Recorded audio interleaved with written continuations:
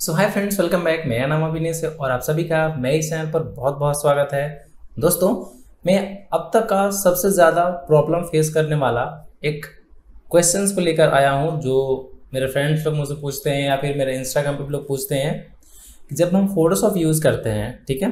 तो फोटोशॉप में जब हम कोई प्रोजेक्ट बना लेते हैं एंड प्रोजेक्ट बनाने के बाद उस प्रोजेक्ट को हम लोग सेव करते हैं या ऑनलाइन या फिर ऑफलाइन ठीक है? सो so, कभी कभी क्या होता है एक प्रॉब्लम हम लोग के सामने आता है। एंड फ्रेंड्स वो प्रॉब्लम क्या होता है? और यहाँ पे देख सकते हो, इस टाइप का एक हमारे पास एरर आता है स्क्रैच डिस्क फुल ठीक है? ये ज़्यादातर उन सिस्टम में होता है जो लो कॉन्फ़िगरेशन का सिस्टम हो, या फिर जिसमें रैम कम हो, या फिर जिसमें हार्ड डिस्क कम हो, ठीक है?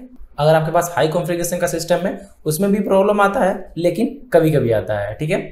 लेकिन ज़्यादातर ये लो कॉन्फ़िगरेशन के सिस्टम वाले लोग इसको फेस करते हैं, ठीक है? बट इसका सोल्यूशन क्या है? सो so फ्रेंड्स मैं आपको इसका सोल्यूशन बताने वाला हूँ। बहुत ही सिंपल सा सोल्यूशन है। अगर आप उसको फॉलो करते हो तो बहुत ईजी वे में आप उसको फिक्स कर सकते हो और वो कभी आपके पास शो नहीं करेगा। अगर आप शो करता भी है तो उसके लिए बस एक ही आपके पास ऑप्शन बचेगा, आपके सिस्टम का विंडोज़ का री ठीक है? या फिर आप सॉफ्टवेयर को डिलीट करके भी इंस्टॉल कर लोगे तो भी सेम प्रॉब्लम आएगा, क्योंकि वो प्रॉब्लम आपके सिस्टम यानी कि जो ऑपरेटिंग सिस्टम है, या फिर मैक हो, या फिर विंडोज़ हो, दोनों में ही सिस्टम के प्रॉब्लम से हमारा वो इरर बताता है, ठीक है? तो दोस्तों, इसको फिक्स करने के लिए हम लोग अलग अलग मेथड यूज़ कर सकते हैं। पहला मेथड हमारा ये होगा कि हम लोग अपने सिस्टम को क्लीन कर लें। जैसे क्लीन कैसे करोगे, मैं आपको बताता हूँ। जैसे आप अपने सिस्टम पे जाओगे, अपने जिस पीसी को ओपन करोगे, जहाँ आपके लोकल लिंक शो होते हैं सो आप यहाँ पे देखोगे, मेरा जो सी ड्राइव है, वो लगभग फुल है ठीक है?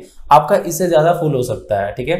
सो आप ये कोशिश करो कि कम से कम स्पेस आप फुल करो ड्राइव सी का। ज़्यादा आप लोकल डिस्क जो नेक्स्ट आपका है लोकल डिस्क डी सी या फिर जो भी हो किसी में लोकल डिस्क लिखा रहता है किसी में वैल्यूम वन या फिर वैल्यूम सी वैल्यूम डी लिखा रहता है। सो so, आप जो आपका ऑपरेटिंग सिस्टम जिसमें इंस्टॉल है ज़्यादातर के जो ऑपरेटिंग सिस्टम होते हैं, वो सी में इंस्टॉल होते हैं। तो आप क्या करो, उस सी ड्राइव को हमेशा आप खाली रखो क्लीन रखो।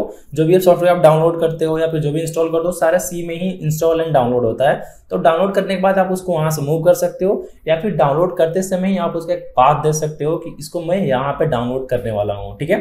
सो so, पहले ये कर लो अपना सी ड्राइव को क्लीन कर लो एंड एक बार सिस्टम को रीस्टार्ट कर लो ठीक है? उसके बाद क्या करना है आपको फोटोशॉप ओपन करना है ठीक है? तो मैं यहाँ पर अपना फोटोशॉप ओपन कर लेता हूँ। यहाँ पे मेरा फोटोशॉप ओपन हो चुका है फ्रेंड्स सिंपली आपको क्या करना है एडिट में जाना है एंड नीचे आपको यहाँ पे ऑप्शन मिलेगा प्रेफरेंस का ठीक है? प्रेफरेंस पे आने के बाद यहाँ आपको जनरल पे क्लिक करना है ठीक है? जनरल पर आप क्लिक करोगे तब बहुत सारे प्रॉपर्टीज़ यहाँ पे ओपन हो जाएँगे। उसमें से आपको एक ऑप्शन ढूंढना है जो आपकी प्रॉब्लम है। आपकी प्रॉब्लम अभी है स्क्रैच डिस्क जो कि स्क्रैच डिस्क फुल बताता है, ठीक है? सो यहाँ पर आप देखोगे तो इसमें एक ऑप्शन आपको मिलेगा स्क्रैच डिस्क का। यहाँ आप देखिए एक ऑप्शन है स्क्रैच डिस्क सिंपली आप इस पर क्लिक कर देना है। सो फ्रेंड्स यहाँ पे देखोगे आप वही लोकल डिस्क दिख रहे हैं जो आपके सिस्टम में, यानी कि जो दिस पीसी में जो आपके हार्ड ड्राइव का जो पार्टीशन था, वही यहाँ पर भी शो कर रहा है। तो सिंपली आपको क्या करना है? सी पे चेक रहने देना है एंड सेकेंड वाले पर भी आपको चेक कर देना है। अगर आपके पास और भी बहुत सारे ड्राइव है तो आप किसी भी एक पर चेक कर सकते हो, जिसकी मेमोरी ज़्यादा हो, ठीक है? बेसिकली फ्रेंड्स ये हम लोग क्यों करते हैं? ये इसलिए करते हैं, जब आपके सिस्टम की रैम कंप्लीट हो जाती है यानी कि फुल हो जाती है। जैसे मान लीजिए मेरे सिस्टम में सोलह जी रैम लगी हुई है बत्तीस जी की रैम लगी हुई है। अगर वो फुल हो जाती है तो आपके ऑपरेटिंग सिस्टम क्या करता है? आपके हार्ड डिस्क को रैम के तौर पे यूज़ करता है और उसमें अपना डेटा को सेव करता है। सो so, इस टाइप से आपको सिंपली यहाँ पे चेक कर लेना है एंड सिंपली यहाँ से ओके कर लेना है ठीक है? सो so, अब आपकी प्रॉब्लम यहाँ पे सॉल्व हो चुकी है। अब आप कभी भी अपना फ़ाइल सेव करोगे तो आपका स्पेस डिस्क फुल नहीं बताएगा। सो फ्रेंड्स आज की वीडियो में बस इतना ही। छोटी सी जानकारी थी, लेकिन बहुत ही यूजफुल है। सो फ्रेंड्स और कुछ नई वीडियो देखने के लिए मैं चैनल को सब्सक्राइब कर लीजिए। सब्सक्राइब करने के बाद बेल आइकन को ऑल कर लीजिएगा अगर आप मुझे सोशल मीडिया फॉलो करना चाहते हो तो लिंक डिस्क्रिप्शन में मिल जाएगा। आप उसको चेक कर लो एंड मुझे वहाँ पर फॉलो कर सकते हो लेटेस्ट जानकारी के लिए। और मैं अगला वीडियो तो लाता ही रहूँगा। तब तक के लिए बाय बाय